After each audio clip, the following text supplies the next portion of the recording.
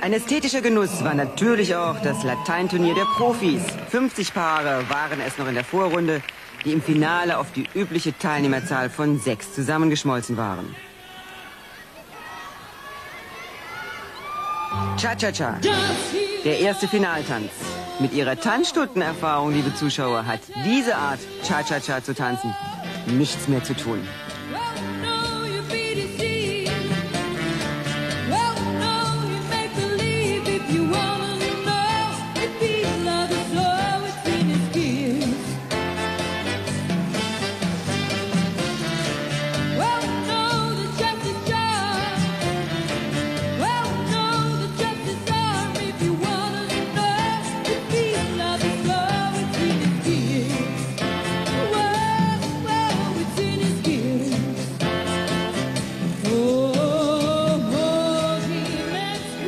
Bianca Schreiber und Hansi Galke aus Freiburg. Bei den Amateuren waren sie schon mehrfach Weltmeister. Und natürlich wollen sie das demnächst bei den Profis schaffen.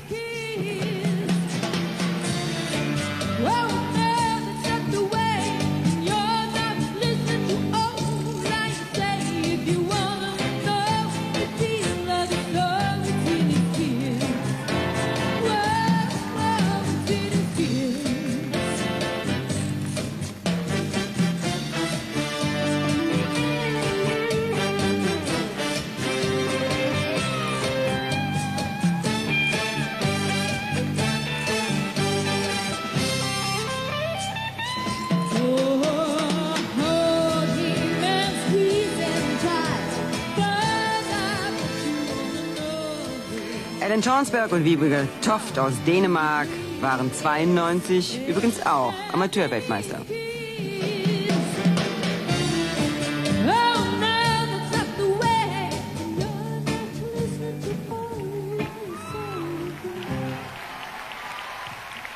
Wie erwartet gewannen Galke Schreiber den Cha-Cha-Cha.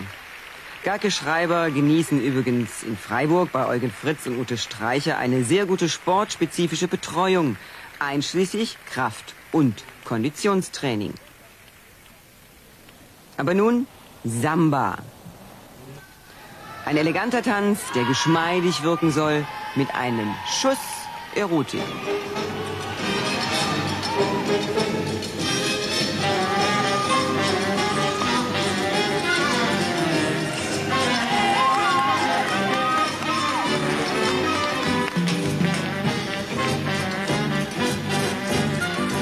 Man tanzt Samba bei weitem nicht mehr so schnell wie in den vergangenen Jahren. Dafür sollen die unterschiedlichen Rhythmen stärker herausgearbeitet werden.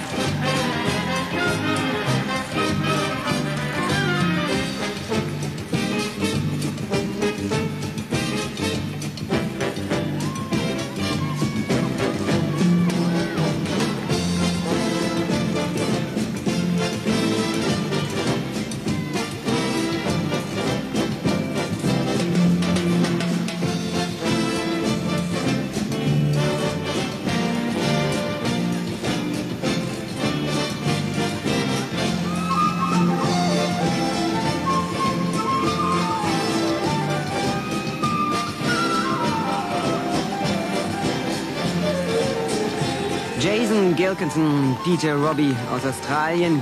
Sie hat übrigens eine Ballettausbildung bei ihrer Mutter genossen.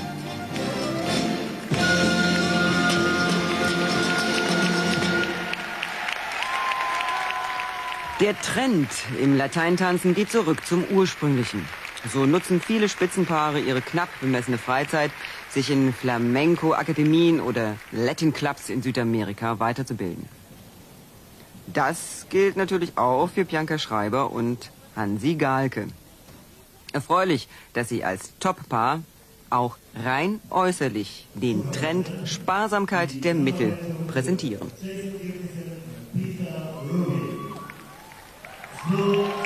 Die Wertung für Gilkinson Roby. Wie gesagt, Majorität der Plätze entscheidet und damit war das der zweite Rang im Samba für Gilkinson Roby. Die gleiche Prozedur für Hal Patterson. Die beiden sind übrigens Europameister über zehn Tänze bei den Profis. Vierter Rang für die beiden aus Osnabrück.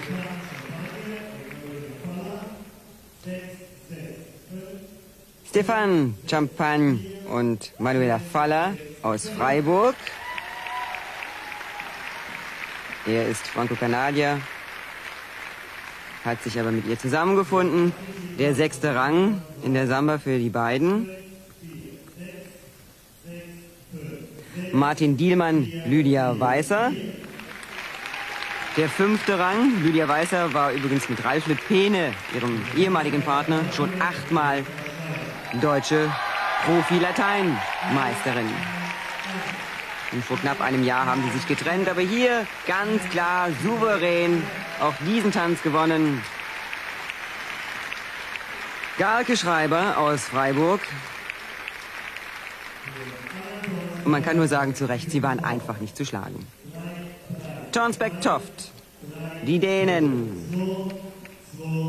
Zweiter Rang in diesem sehr gut besetzten Feld.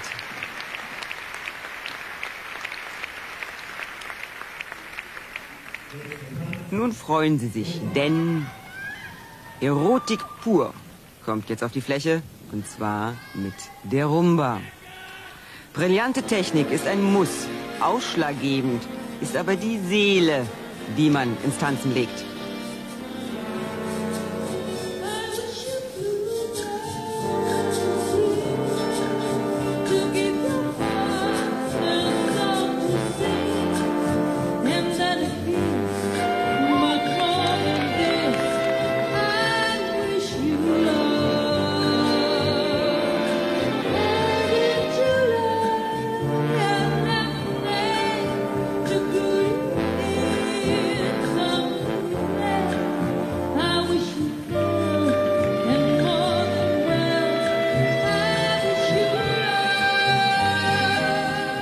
Bei dem sogenannten Liebestanz ist es natürlich einfacher, wenn man auch im Leben ein Paar ist, so wie diese beiden.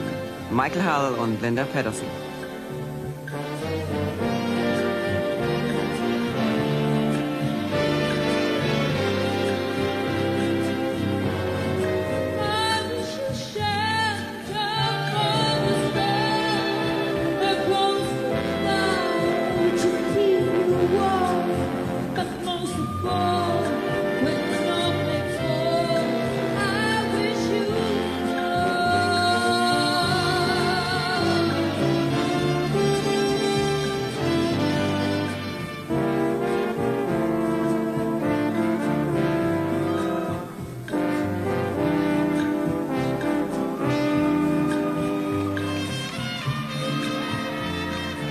Stefan Champagne, Manuela Faller.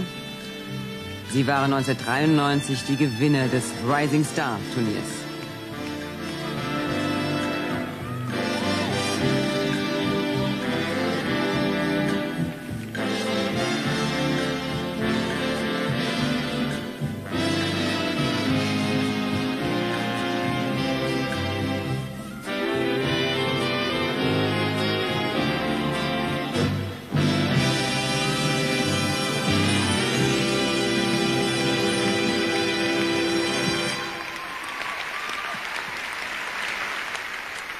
Wie konnte es wohl anders sein? Der Sieger in der Rumba hieß wiederum Galke Schreiber. Zwei Tänze standen in der Finalrunde noch aus. Zunächst der Paso Doble. Man weicht langsam von der Darstellung des Stierkampfes ab und vermischt den Tanz mit Flamenco-Elementen oder Gypsy Dancing.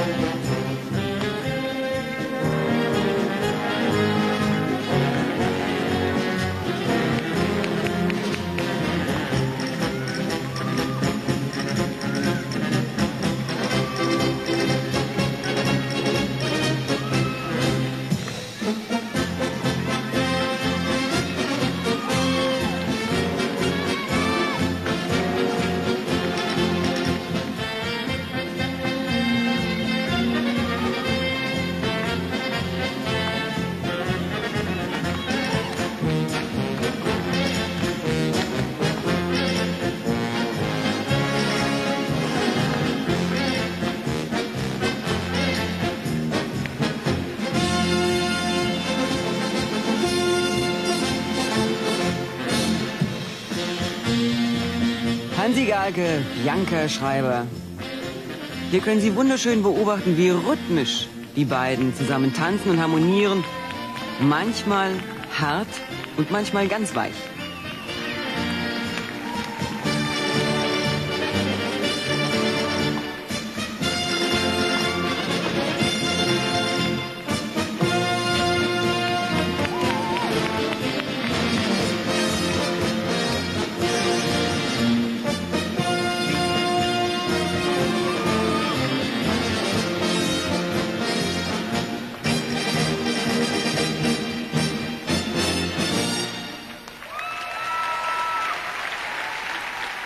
Da kann man nur sagen, wunderschön stellten sie die Charakteristik des Pastor Doble dar.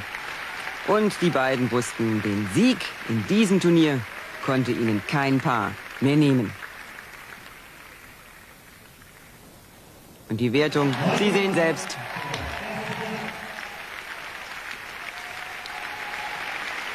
Souveräner kann man ein Turnier letztlich nicht gewinnen. Der Jive, der letzte Tanz der Finalrunde. Lebensfreude pur.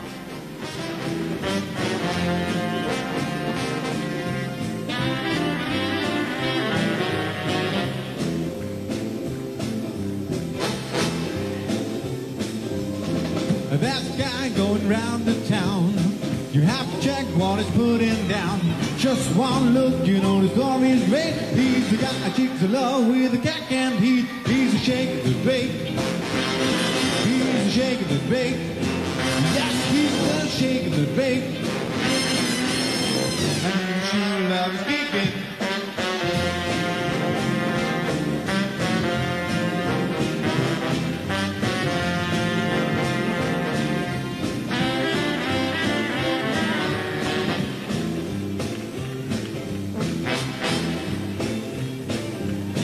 Some say he's a Clemson, the gold, and he can pack for my well-armored gold. Some say a gangster, and some say mess, and everyone selling with a gangster's kiss. He's a shake of the Drake.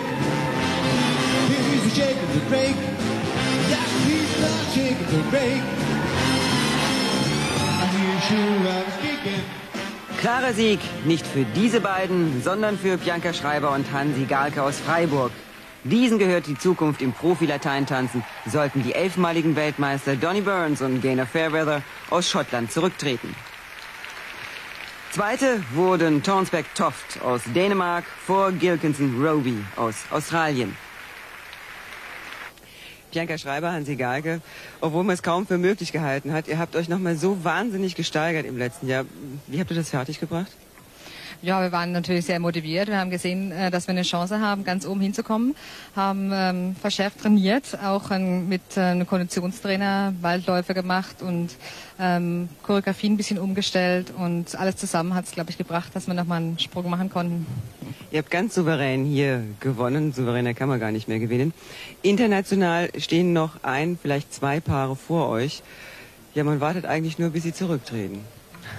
Na gut, äh, es gibt Donny Burns noch, den Schotten, der jetzt. lange. Na, den gibt's jetzt schon seit zehn Jahren, das ist klar. Und er wird auch vielleicht noch zwei, die Gerüchte laufen, dass er noch zwei bis drei Jahre tanzt. Aber wir äh, haben uns jetzt zum Ziel genommen, äh, wir wissen nicht, ob wir ihn schlagen können, aber wir wollen also so nah als möglich drankommen und äh, wir wollen auf jeden Fall irgendwann in naher Zukunft Weltmeister werden. Ich kann nur die Daumen drücken und viel Erfolg. Danke. Dankeschön. Herzlichen Dank und zur Ehre unserer Sieger die deutsche Nationalmannschaft. Wie immer war die German Open in Mannheim ein Fest für alle Tanzsportbegeisterten. Die Leistungen in den Seelen wurden zu Recht gefeiert.